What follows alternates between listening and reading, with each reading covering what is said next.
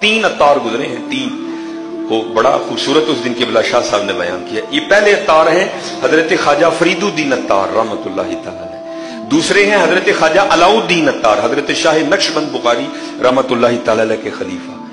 और तीसरे हैं हमारे अतार अमीर हज़रत अल्लामा मौलाना अबू बिलाल मोहम्मद इलियास अत्तार कादरी रजवी, जियाई मदद अल्लाह उनको सलामत रखे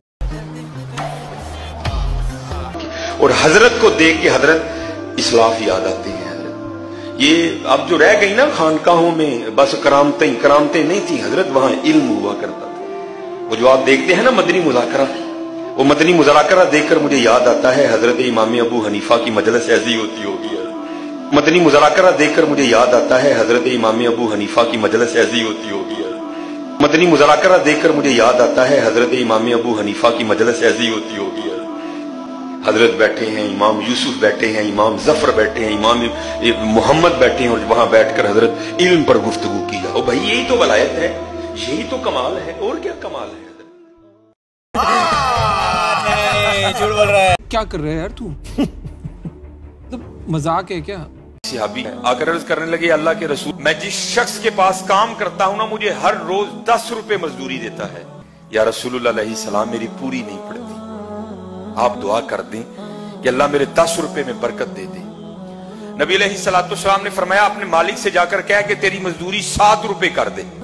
सिहाबी थे, चले गए पे कर दे। सिहाबी थे, चले गए। कि कुछ अरसे के बाद ना वो इस तरह वापस आए कि बड़े खुशहाल। पहले दस में पूरी नहीं पड़ती थी, अल्लाह के रसूल बांट बांट के थक जाता हुआ मेरे साथ ही खत्म नहीं होते। ये क्या है? आपने फरमाया, जब तू आया ना मेरे पास कि अल्लाह के रसूल मुझे रोज की मजदूरी दस रुपए मिलती है, पूरी नहीं पड़ रही, दुआए बरकत करें।